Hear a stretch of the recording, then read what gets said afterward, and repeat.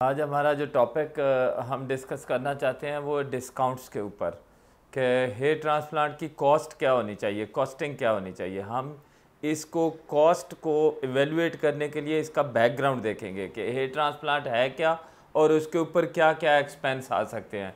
देखें, जो hair transplant experts कर रहे हैं, उनको हेयर ट्रांसप्लांट को करने के लिए क्या क्या करना पड़ता है, इसके दो पार्ट हैं। एक पार्ट है on the day of surgery एक है other than this other than this क्या है?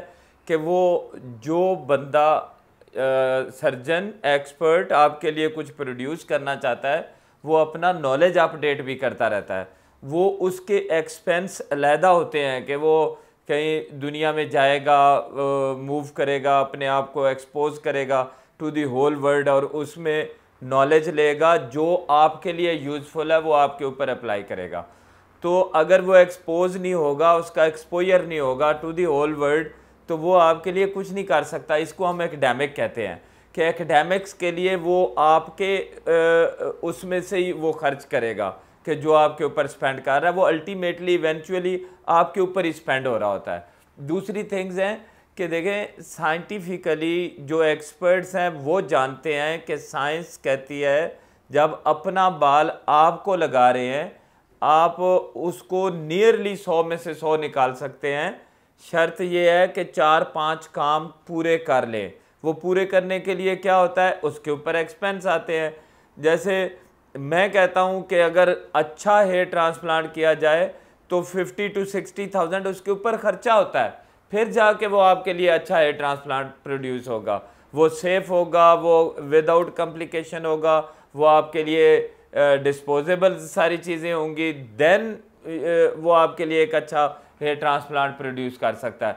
तो आपको मैं एक एडवाइस करूँगा कि देखें ऑलरेडी पाकिस्तान में जो हेयर ट्रांसप्लांट हो रहा है, अच्छे क्लिनिक्स में, मैं कहता हूँ कि वो बहुत कम प्राइसेस में हो रहा है।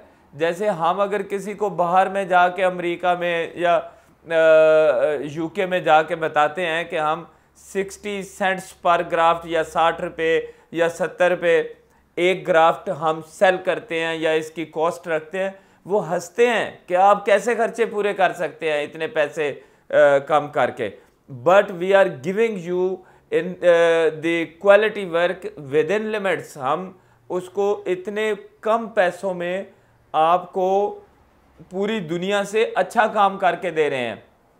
आप अगर हेयर ट्रांसप्लांट के अच्छे सर्जन्स को। मैं कहता हूँ कुछ चार पाँच अच्छे सर्जन्स को अगर दुनिया के साथ आप कंपेयर करेंगे तो हमारे सर्जन्स ज़्यादा अच्छा काम कर रहे हैं और ब्यूटीफुल काम कर रहे हैं नेचुरल लुक्स में ज़्यादा नंबर ऑफ़ ग्राफ्ट लगा रहे हैं और ज़्यादा आपको अच्छे रिज़ल्ट प्रोड्यूस करके दे रहे हैं और बहुत कम पैसों में।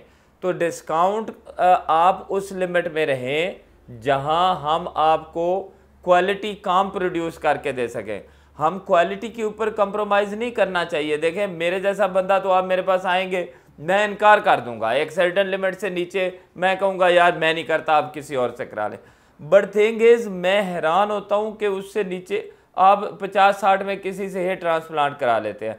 आपको पता ही नहीं अच्छा हेयर ट्रांसप्लांट होता क्या है। जब आप अच्छा देखेंगे तो आपको पता चलेगा कि नहीं, वो तो कुछ भी नहीं है। वो आपको सेटिस्फाई कर लेते हैं कि नहीं वो वो कहेंगे हाँ डॉक्टर साहब फलां जगह पे बैठे हुए हैं उनका नाम हो गया ये हो गया। इसलिए वो अपने पैसे चार्ज करते हैं। नहीं ये बात नहीं है।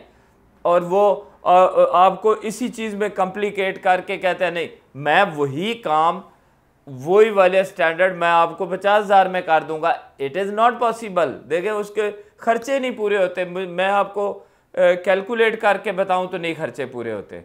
वो आपके साथ क्वालिटी काम कर ही नहीं सकता। वो आपके साथ क्वालिटी इंस्ट्रूमेंट नहीं यूज़ कर सकता। बाकी चीज़ें तो बाद की बात है। उसने वो पैसे कमाने भी हैं ना। अगर आपके ऊपर खर्च करेगा तो वो अपनी जेब में कहाँ से डालेगा? वो सारे अपनी जेब में डालेगा। आपके ऊपर कोई खर्चा नहीं करेगा।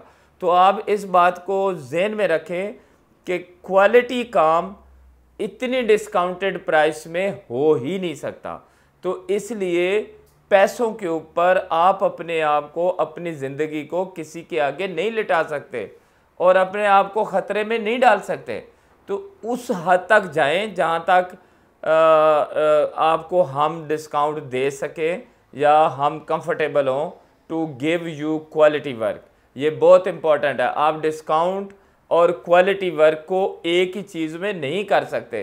आप क्वालिटी के ऊपर कंसंट्रेट किया करें। जब भी जाएँ आप दो, दस, बारह, बीस हज़ार से कोई फ़र्क नहीं पड़ेगा। बट ये सारी उम्र के काम हैं, आपके काम आएँगे। आप इसको उस लेवल पे ना लेके जाएँ कि जहाँ आपके लिए कोई क्वालिटी काम प्रोड्यूस ना कर सके।